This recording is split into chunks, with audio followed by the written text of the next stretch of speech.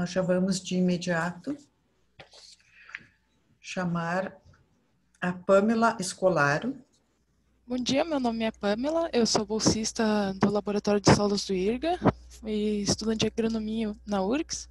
Minha orientadora é Glaciele Barbosa e vou apresentar o trabalho sobre os efeitos da aplicação de gesso agrícola na produtividade de soja em terras baixas.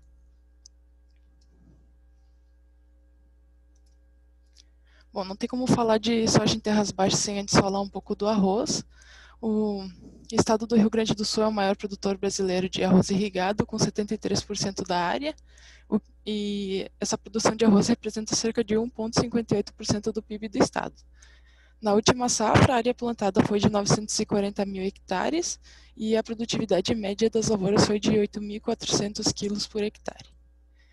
As lavouras de arroz no estado são conduzidas majoritariamente de forma tradicional, ah, como assim? Com monocultivo do arroz ano após ano, o pousio no inverno, preparo convencional do solo com revolvimento e o uso contínuo dos mesmos herbicidas, o que leva ao surgimento de plantas daninhas resistentes, à queda de produtividade e à inviabilização das áreas. Nesse, com, essa, com isso em mente, um, vários produtores começaram a realizar a rotação de culturas, o que leva à possibilidade do uso de diferentes herbicidas na área, assim, possibilitando rotacionar diferentes princípios ativos, diminuindo o banco de sementes de invasoras, além disso, promove maior ciclagem de nutrientes e auxilia na conservação do solo. As culturas mais utilizadas nessa rotação são a soja e o milho, mas o milho em bem menor quantidade.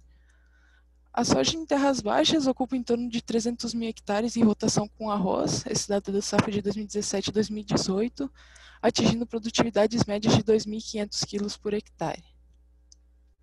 A soja traz uma diversificação da renda na propriedade, permitindo ao produtor ter mais de uma fonte de renda além do arroz. E só que os solos de terras baixas têm naturalmente menor fertilidade, são predominantemente ácidos, o que leva a maior necessidade de correção do solo para o plantio da soja, além de ter, maior, ter que ter maior cuidado com a drenagem da área. Com isso em mente, vários produtores começaram a utilizar o gesso agrícola para tentar promover uma melhor condição para a soja. O gesso agrícola é um subproduto da indústria de fertilizantes fosfatados com grande disponibilidade no mercado. Ele é uma fonte de cálcio, em torno de 20% da sua composição, enxofre, entre 15% e 18% da sua composição, e também fornece uma pequena quantidade de fósforo, entre 0,5% e 0,8% da sua composição. É considerado um condicionador de solo pela sua alta solubilidade, o que leva à lixiviação de cálcio, enxofre, magnésio e potássio para camadas mais profundas e a diminuição da atividade de alumínio tóxico em camadas superficiais, o que uh, traz uma melhor condição para as plantas. Em, ele pode também lixiviar o calcário, levando à correção da acidez em camadas mais profundas. Só que esse efeito pode ser negativo em solos com baixa capacidade de troca de cátions, como é, são os solos de terras baixas. E atualmente não existe a recomendação quanto à sua aplicação em terras baixas, nem das quantidades a serem aplicadas, e tem muito poucas pesquisas na área. Levando isso em conta, foi proposto esse trabalho com o objetivo de avaliar o efeito das diferentes doses de gesso na produtividade de soja e o efeito do gesso na lixiviação do calcário aplicado em superfícies para camadas mais profundas. O trabalho foi conduzido na Estação Experimental do Arroz do Irigo em Cachoeirinha, na safra 2019-2020, em inglês solo, com pH inicial 5.2. O delineamento foi feito em blocos casalizados, com quatro repetições em cada tratamento, e consistiu de sete tratamentos. O tratamento 1 é a testemunha, sem aplicação de gesso e calcário. O tratamento 2 foi aplicado calcário para corrigir a pH 6 incorporado. O tratamento 3, calcário, foi aplicado para corrigir para pH 6 em superfície. O tratamento 4 foi aplicado uma tonelada por hectare de gesso. O tratamento 5, 2 toneladas por hectare de gesso. O tratamento 6, uma tonelada por hectare de gesso associado ao calcário para corrigir a pH 6. E o tratamento 7, 2 toneladas por hectare de gesso associado ao calcário para corrigir a pH 6. Aqui é um croquis da área com as parcelas experimentais com um tamanho de 3 metros por meio metro de largura. Uh, foram coletadas amostras de solo certificadas de 5 em 5 centímetros até 20 centímetros de profundidade para definir o pH. O gesso e o calcário foram aplicados no mês de agosto, anterior à, a, o plantio da cultura com incorporação do do calcário no tratamento 2.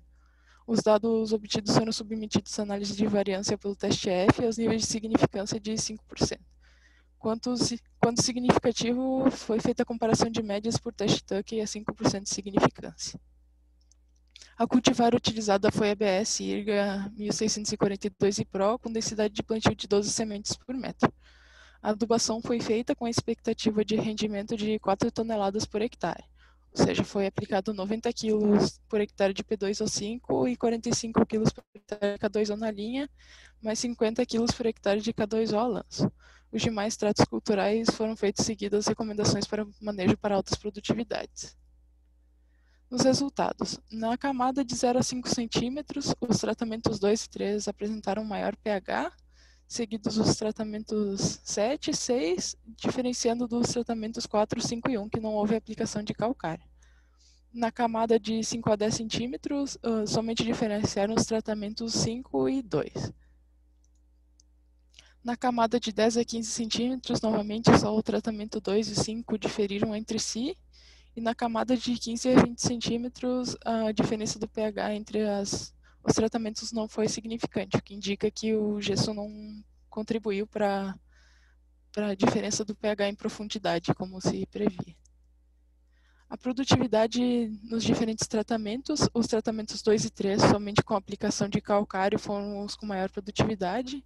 O tratamento 2 com 3.500 kg por hectare e o tratamento 3 com 3.400 kg por hectare. Seguido deles, os tratamentos 6 e 7, que foram os tratamentos com aplicação de gesso e calcário. E após isso, os tratamentos 4, 5 e 1, que não houve aplicação de calcário. Conclusão, a aplicação de gesso agrícola não teve efeito na produtividade de soja e na lixiviação do calcário, e quando aplicado juntamente com o calcário, diminuiu a produtividade em relação aos tratamentos onde foi aplicado apenas o calcário. Muito obrigada pela atenção, eu deixo aqui o meu contato, qualquer dúvida é só perguntar.